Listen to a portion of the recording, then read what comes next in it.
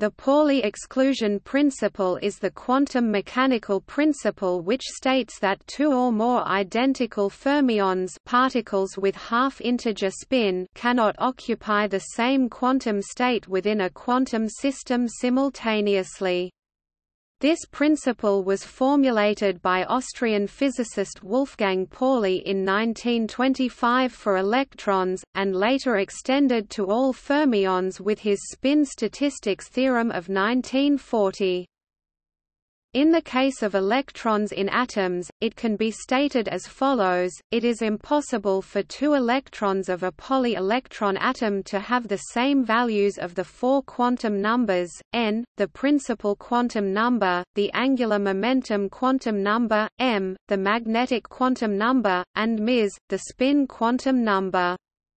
For example, if two electrons reside in the same orbital, and if their n, and m values are the same, then their ms must be different, and thus the electrons must have opposite half-integer spin projections of one half and minus one half. Particles with an integer spin, or bosons, are not subject to the Pauli exclusion principle. Any number of identical bosons can occupy the same quantum state, as with, for instance, photons produced by a laser or atoms in a Bose-Einstein condensate. A more rigorous statement is that with respect to exchange of two identical particles the total wave function is antisymmetric for fermions, and symmetric for bosons. This means that if the space and spin coordinates of two identical particles are interchanged, then the wave function changes its sign for fermions and does not change for bosons.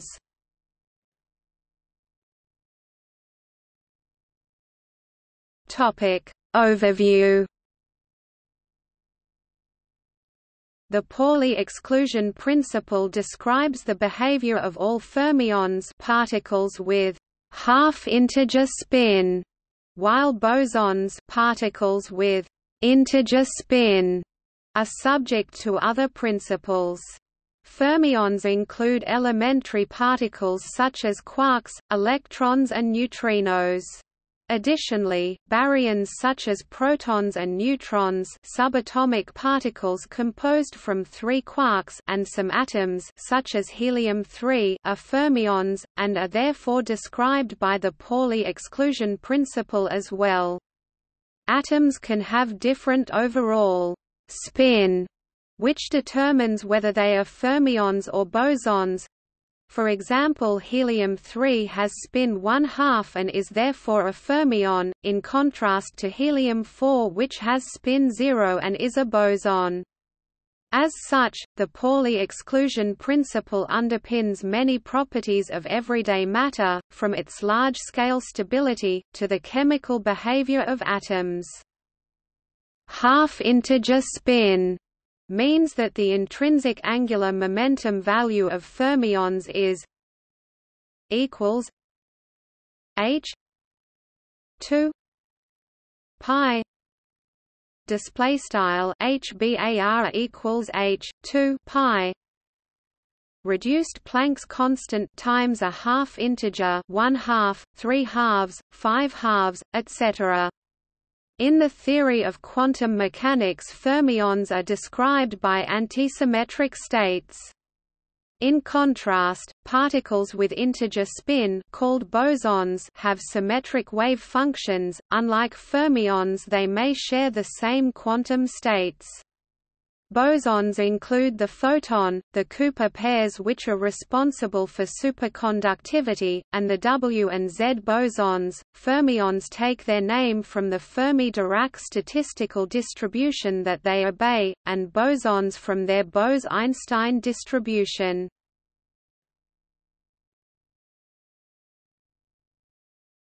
Topic: History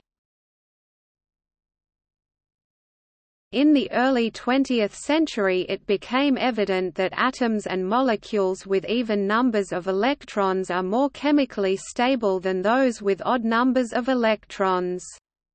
In the 1916 article, The Atom and the Molecule, by Gilbert N. Lewis. For example, the third of his six postulates of chemical behavior states that the atom tends to hold an even number of electrons in any given shell, and especially to hold eight electrons which are normally arranged symmetrically at the eight corners of a cube see, cubical atom.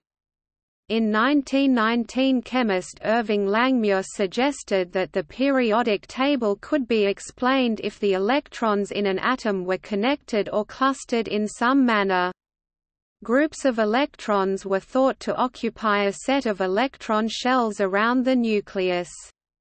In 1922, Niels Bohr updated his model of the atom by assuming that certain numbers of electrons for example 2, 8 and 18 corresponded to stable closed shells. Pauli looked for an explanation for these numbers, which were at first only empirical.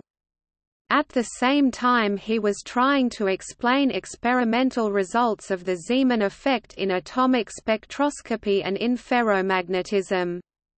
He found an essential clue in a 1924 paper by Edmund C. Stoner, which pointed out that, for a given value of the principal quantum number n, the number of energy levels of a single electron in the alkali metal spectra in an external magnetic field, where all degenerate energy levels are separated, is equal to the number of electrons in the closed shell of the noble gases for the same value of n.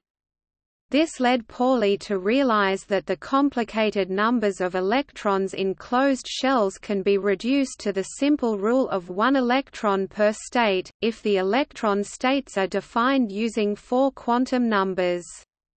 For this purpose he introduced a new two-valued quantum number, identified by Samuel Goudsmit and George Uhlenbeck as electron spin.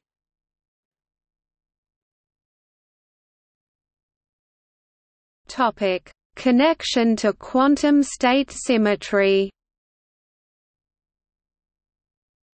The Pauli exclusion principle with a single-valued many-particle wave function is equivalent to requiring the wave function to be antisymmetric with respect to exchange.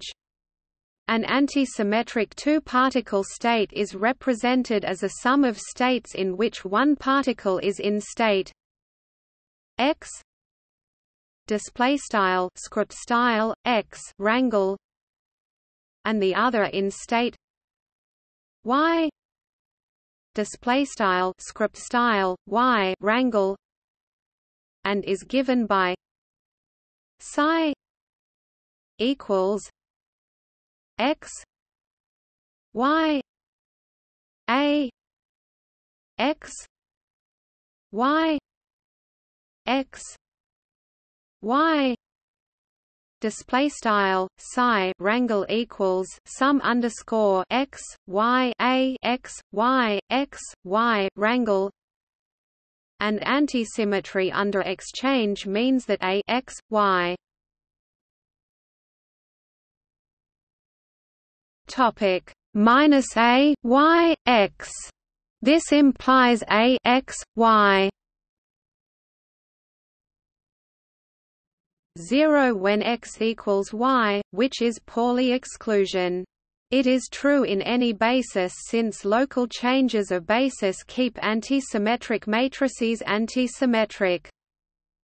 Conversely, if the diagonal quantities a x, x are zero in every basis, then the wave function component a x y equals psi x y equals psi x y Display style a x y equals Langle psi x y rangle equals Langle psi x rangle o times y rangle is necessarily antisymmetric.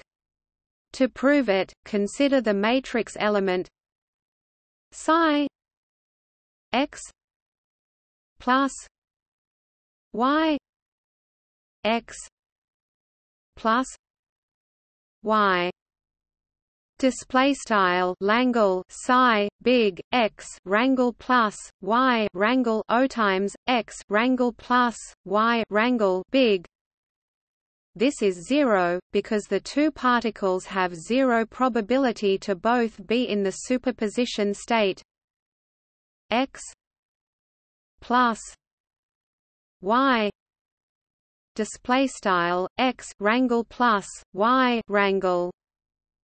But this is equal to psi x x plus psi x y plus psi y x plus psi y y display style Langle psi x x rangle plus Langle psi x y rangle plus Langle psi y x rangle plus Langle psi y y rangle the first and last terms are diagonal elements and are zero, and the whole sum is equal to zero.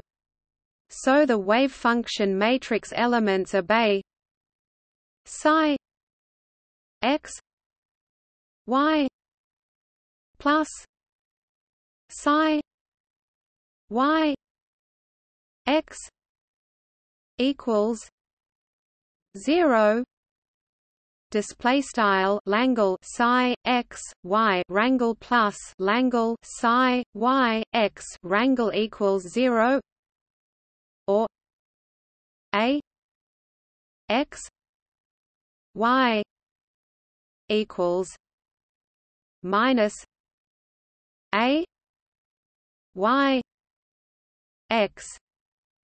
Display style a x y equals a y x.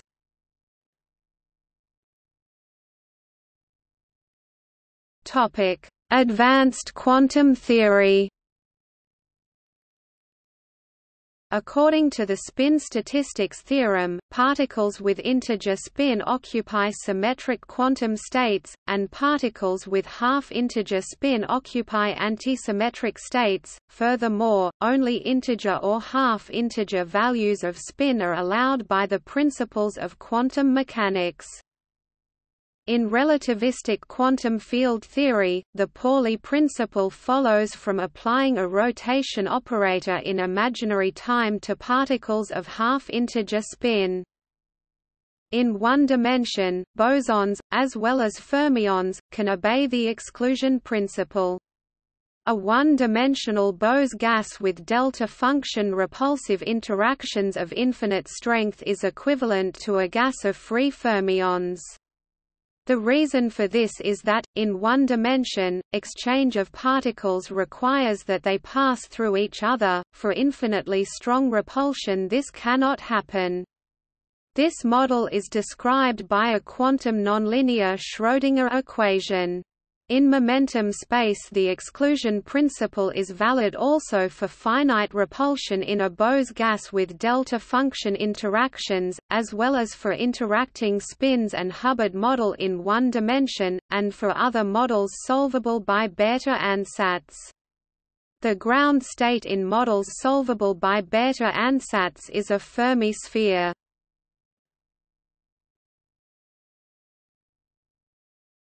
Topic Consequences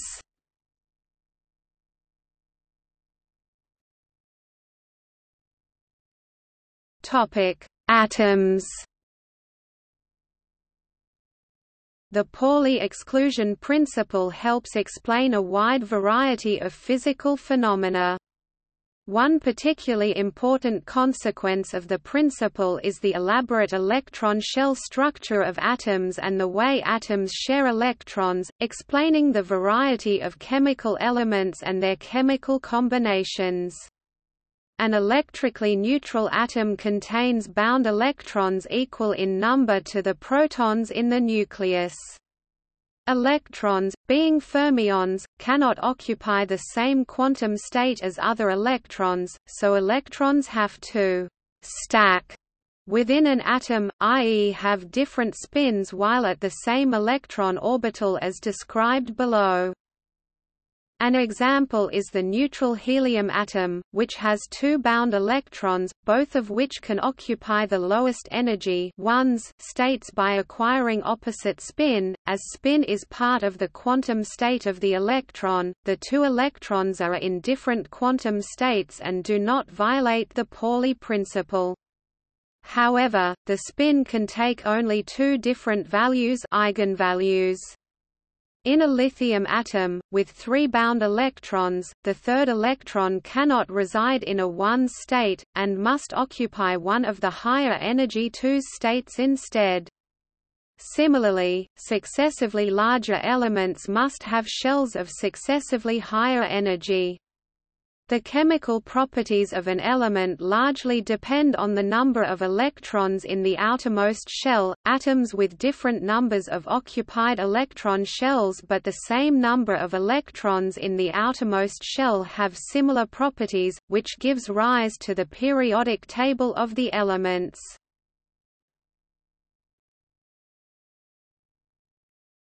Topic: Solid state properties.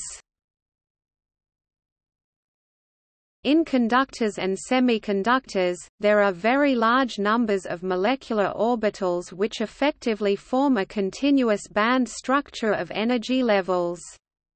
In strong conductors metals electrons are so degenerate that they cannot even contribute much to the thermal capacity of a metal. Many mechanical, electrical, magnetic, optical and chemical properties of solids are the direct consequence of Pauli exclusion.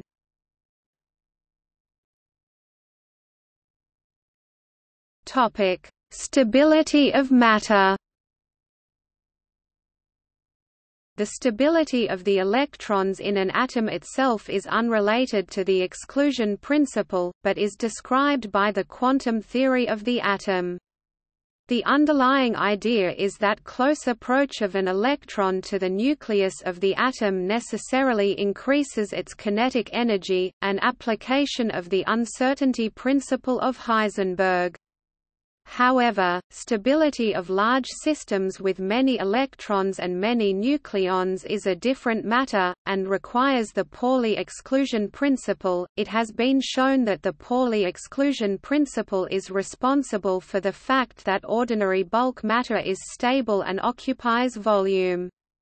This suggestion was first made in 1931 by Paul Ehrenfest, who pointed out that the electrons of each atom cannot all fall into the lowest energy orbital and must occupy successively larger shells. Atoms therefore occupy a volume and cannot be squeezed too closely together. A more rigorous proof was provided in 1967 by Freeman Dyson and Andrew Lenard, who considered the balance of attractive electron nuclear and repulsive electron electron and nuclear nuclear forces and showed that ordinary matter would collapse and occupy a much smaller volume without the Pauli principle. The consequence of the Pauli principle principle here is that electrons of the same spin are kept apart by a repulsive exchange interaction, which is a short-range effect, acting simultaneously with the long-range electrostatic or coulombic force.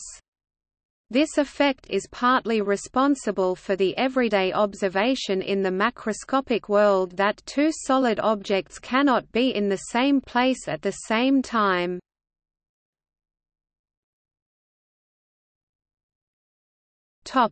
Astrophysics. Freeman Dyson and Andrew Lenard did not consider the extreme magnetic or gravitational forces that occur in some astronomical objects. In 1995 Elliott Lieb and co-workers showed that the Pauli principle still leads to stability in intense magnetic fields such as in neutron stars, although at a much higher density than in ordinary matter. It is a consequence of general relativity that, in sufficiently intense gravitational fields, matter collapses to form a black hole. Astronomy provides a spectacular demonstration of the effect of the Pauli principle, in the form of white dwarf and neutron stars. In both bodies, atomic structure is disrupted by extreme pressure, but the stars are held in hydrostatic equilibrium by degeneracy pressure, also known as Fermi pressure. This exotic form of matter is known as degenerate matter. The immense gravitational force of a star's mass is normally held in equilibrium by thermal pressure caused by heat produced in thermonuclear fusion in the star's core. In white dwarfs, which do not undergo nuclear fusion, an opposing force to gravity is provided by electron degeneracy pressure. In neutron stars, subject to even stronger gravitational forces, electrons have merged with protons to form neutrons. Neutrons are capable of producing an even higher degeneracy pressure, neutron degeneracy pressure, albeit over a shorter range. This can stabilize neutron stars from further collapse, but at a smaller size and higher density than a white dwarf. Neutron stars are the most rigid objects known. Their young modulus or more accurately, bulk modulus is 20 orders of magnitude larger than that of diamond. However, even this enormous rigidity can be overcome by the gravitational field of a massive star or by the pressure of a supernova, leading to the formation of a black hole.